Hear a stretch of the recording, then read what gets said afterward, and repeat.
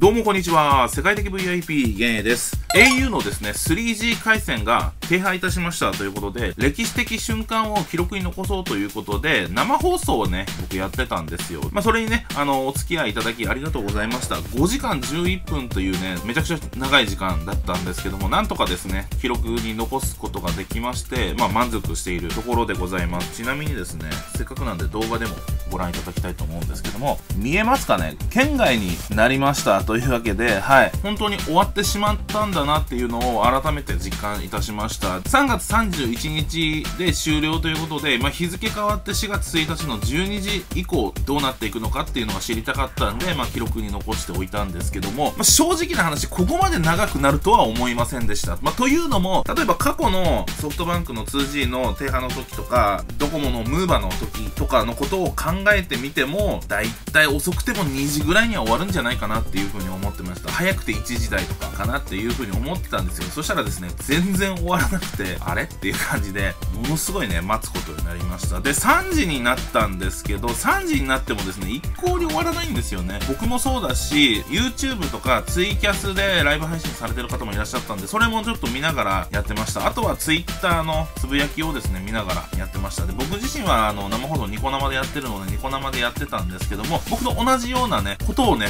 思われてる方が、まあ、ニコ生で放送されてたんで、その人の放送を見ながら自分もですね、やってたんですけども、僕の端末はですね、3時8分に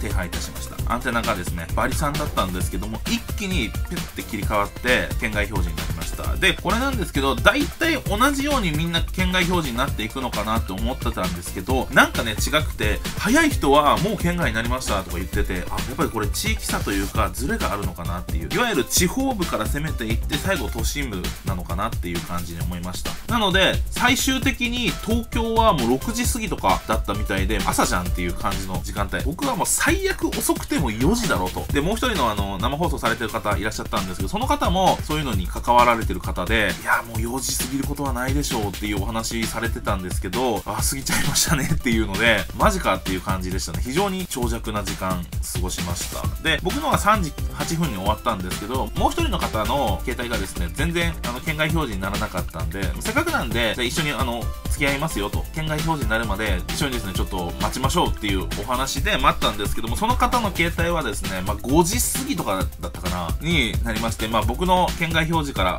遅れること2時間です。ね。で、表示が終わりました。というわけで、本当に長かったですねっていう。まあ、もともと正直な話、まあ、低波動画だけで抑えようかなっていう風に思ってたんですよ、このね、低波、あの、低波の瞬間を。なんですけども、まあ、あの、ツイッターとかメッセージでですね、ぜひですね、生放送やってくださいっていうコメントが来てたので、わかりましたと。じゃあギリギリ、まあ、12時前ぐらいだったかな、にやろうかなということで、ちょっと放送をつけて5時間ほどやってみました。正直ね、途中からもうめちゃくちゃ眠かったんですけど、やってよかったなっていう感じですね。まあ、新たに出会いができました。同じような趣味を持った人と出会えたので、これはちょっとやってよかったなっていうふうに思います。まあ、Twitter とかもちょっとお互いにフォローさせてもらって、メッセージのやり取りとかもしましたけども、非常に新しい仲間が増えたっていう、なんか、そういう感じでよかったです。あと、祭り気分が非常に楽しかったなっていう感じですね。こういう電波がね、停波する瞬間ってなかなか立ち会えないじゃないですか。次は 4G が停波するとき放送しましょうねみたいな感じでちょっとやり取りをしたんですけど、いつになるやらっていう感じなので、ね、面白いかなと思います。で、僕の考えとしては、次はね、ソフトバンク 3G が終わるんですよ。2024年になりますので、それ、もし放送できたらやってみようかなと思います。で、2026年のドコモのフォーマですね、3G 停波の時は、多分その時もおそらくできると思うので、その時ももしかしたら放送するかもしれないので、まあ、もしよろしければご覧いただきたいと思います。で、今回はちょっと僕のね、雑談動画ということで終わらせていただきますけども、後日ですね、停波の瞬間を抑えた生放送のですね、編集したバージョンのものをこのチャンネルでですね、アップしたいと思いますので、もしよろしければそちらもご覧いただければなという感じに思います。はい、というわけで今回ですね、au の 3G 回線が終わってしまいましたよっていうお話でした。お付き合いいただありがとうございました。